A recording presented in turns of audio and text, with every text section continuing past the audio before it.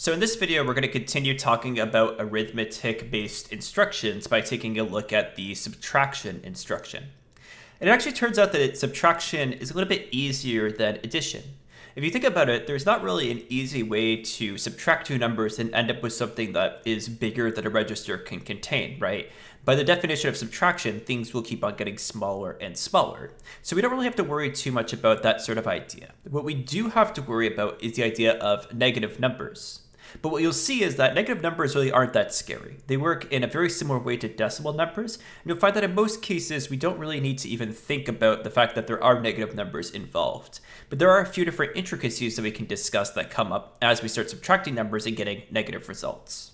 So to start off, let me show you something really simple, just to get an idea of how this instruction works. We're going to move into EAX the value 5, into EBX the value 3, and I'm going to sub EAX and EBX. So sub is the subtraction operation. What I'm doing here is I'm taking the value of EBX, and I'm going to do EAX minus EBX. And I store the result in EAX. So in this case, it would be 5 minus 3, which is equal to 2. That gets stored into EAX, and then we will be done. So this is a very simple example, and I just want to show you that it does indeed work, just that way we have the intuition about how the subtraction operator is really working for us. So let's go into ASM, we'll break at start. We are going to run, and we are going to step through these instructions. And when I do an info register EAX, you see that I do actually get the result of 2, which matches exactly what I expected for 5 minus 3. So that's a very simple example, nice and easy. We now see how the subtraction operator works. Let's do something a bit more interesting. Let's flip them, 3 and 5. Now I could have just subtracted EBX and EAX, keeping them the same. I'm just doing that so that everything gets stored in EAX just to make the interrupts work and make everything simpler. So this is another example, and in this case, what will happen is we get 3 minus 5, which would be negative 2. Let's see what happens when we have a negative number in our subtraction. Well, what we'll find is the following. We'll do layout ASM, we'll break at start, and we'll run. Let's step through these instructions. And let's see what we have in EAX. Well, do you see that we get negative 2, right? Which is great. That's exactly what we expected. But notice that the value is maybe not quite what we expected. It's a whole bunch of F's and then the value E. And if you think about the way that subtraction will generally work, this does make some sense. What we're seeing here is we're seeing essentially the complement that represents this negative number. Now, one question that you might have is, how did GDB know to print negative 2? Because if you think about it, this has two interpretations, right? It could be negative 2, but it could also be a very, very large number. So how do we know which it is? And the answer to that is we look at our E flags. Our E flags are going to set a few different flags here. The carry and auxiliary flag are set.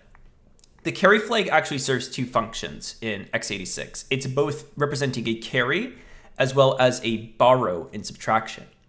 And if you do this subtraction, you'll actually see that there is a borrow. When we subtract 3 from 5, we have to keep borrowing, which is why we get all of these Fs here. It's really just the result of continually borrowing until we reach the end of the register.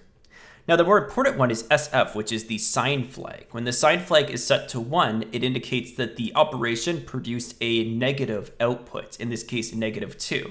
That's how GDB knows that this value should be represented as negative 2 and not just some large value. It's because that sign flag has been set, so it understands that this is a negative number.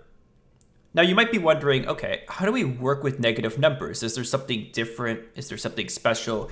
And it turns out that they actually work very similarly to decimal negative numbers. What I mean by that is consider the following example.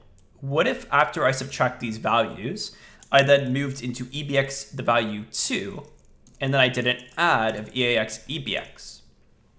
So remember, negative 2 is inside of EAX right now.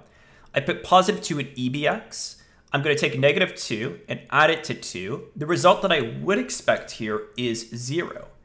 Now, just like thinking about the values that were stored, you might be able to intuitively understand that this is going to work, but it's going to be helpful for us to just sort of see step by step what happens, right? So we know that these first three operations give us the value of negative 2 in EAX.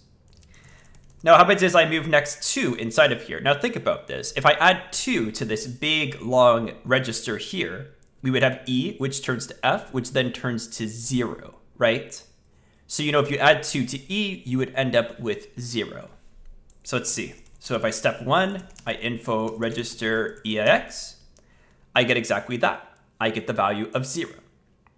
So do you see that that actually did work exactly the way that we expected it to work when it came to adding a positive and negative number together? And if you could intuitively think about it, you'll see that this result carries over to other types of ideas too. If this value was 3 instead, it would be e goes to f, then goes to 0, then goes to 1, right? So do you see that it really does flow the exact same way as negative numbers do in decimal values?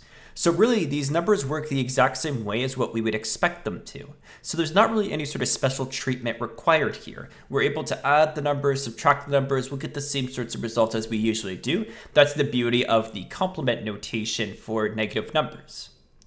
The only real situation where we are going to need to look at E flags is if we need to determine if a result was negative, in which case we would check to see if the sign flag was set.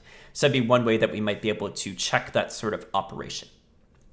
With that, you now understand the idea of subtraction. So we've had addition and subtraction. We're getting our arithmetic operators nice and set in stone. And this is going to help us with being able to develop x86 programs. So thanks so much for watching, and I'll see you in the next video.